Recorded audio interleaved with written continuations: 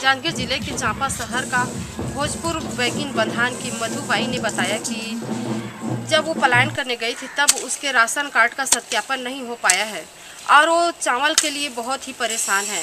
पच्चीस रुपये किलो से चावल खरीदती है और मजदूरी काम करती है। शासन द्वारा बताया जा रहा है कि हर जनताओं को राशन कार्ड द्वारा दो रुपये किलो में चावल मिलना चाहिए।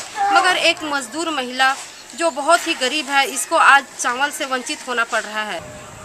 आपका समस्या क्या है? मोर राशन कार्ड अब काट हवा हवाए महा ईटा भट्ठा चल दे रहे त। त उहाँ ला आए त भोल नहीं बनाइस सत्यापन नहीं करिस। बहुत तकलीफ़ पात हवन। कई फैसला तहसील गए रहन त भोल नहीं बनाइस और नगर पालिका गए रहन त भोल नहीं बनाइस बहुत ही मुश्किल में है।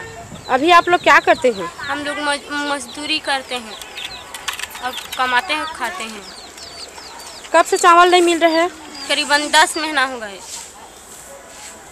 अभी चावल का किलो कितना लेते हैं? बीस रुपये किलो। सरकार से आप क्या उम्मीद रखते हैं?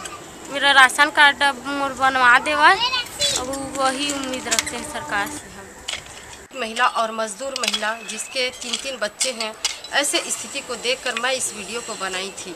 और ये मेरे घर की ही बहू है।